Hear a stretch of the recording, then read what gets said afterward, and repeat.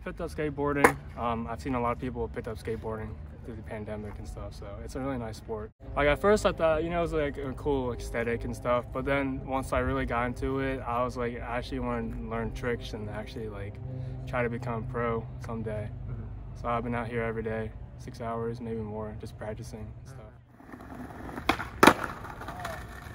After I graduated high school, um, it was either my parents were gonna tell me to go to college or um, go to France with them, but I didn't want to go like jump straight into another four years of school. So I just took a gap year, went to France with them. It was a nice experience. I guess the only thing that's pretty much changed is I'm not going to school. I'm not trying to like screw myself over on this online school. So I'm just working and skateboarding until you know once it kind of dies down.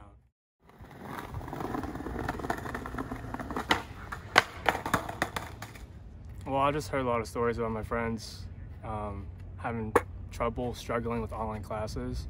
So I didn't want to jump right in and struggle with them. I'm having a good life right now. I'm having fun. I'm I'm just chilling.